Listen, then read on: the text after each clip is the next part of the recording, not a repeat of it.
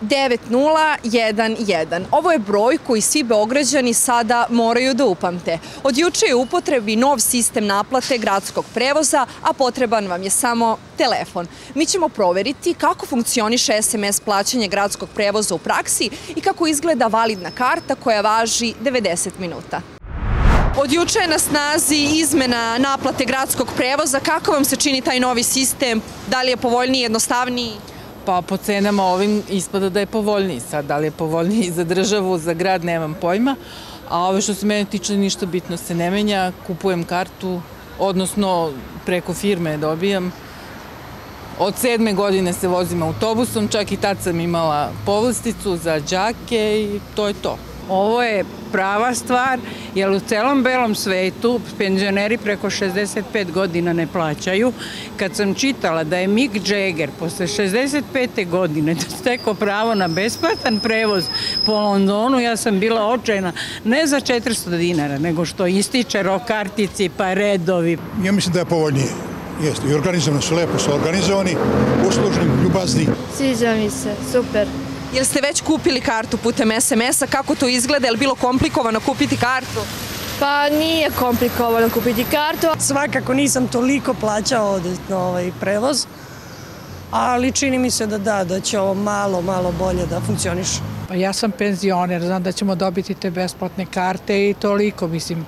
I ove dnevne karte vidim da su pojeftinile, tako da, da li je u redu, vreme će da pokaže da li je u redu ili nije. Mislim, sad niko ne može da se izvuče i kaže nemam telefon. Neko stariji, ali opet stariji će imati besplatnu. Mislim, ono, ako ćemo da se vozimo, moramo i da platimo. Pošteno, je li tako? Mislite li da je ovo mnogo povoljnije praktično? Naravno, prava stvar. Prava za nas penzionere sa skromnim penzijama.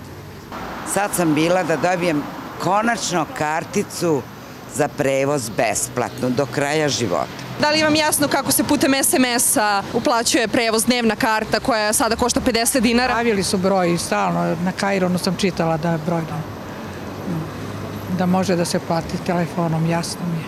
Pa od prilike da, ali u svakom slučaju mislim da ljudi neće plaćati to dok ne uhvati maha ili dok ne budu krenule neke ultra kazne, tako da... Čini mi se da je jednostavnije za nas mlade, verovatno zato što dovoljno je samo da pošaljemo SMS poruku i onda ćemo imati kartu. E sad za, ove, za starije ljude i za koji nisu toliko upoznati pitanje je sad već. Mnogo je bolje. Ja verujem da će biti mnogo bolje. Je li vam jasno na koji broj treba da se ukuca da bi se... To još ne znam, sa decom ću da vidim, ne znam koji je broj.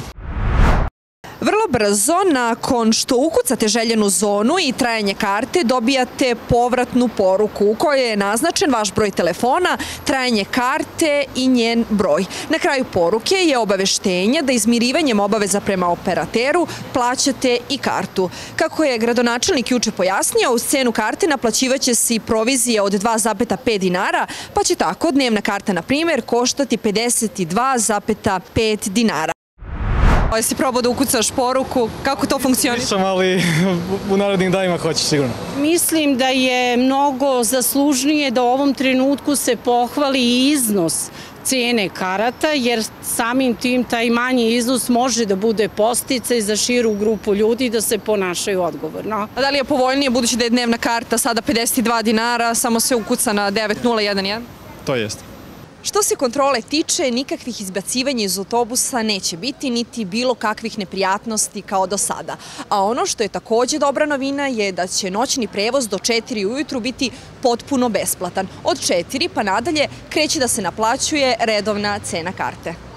Zavožuje, kaže, kraj na doživotno, dok se kolika im čas. Neka žive sto godina.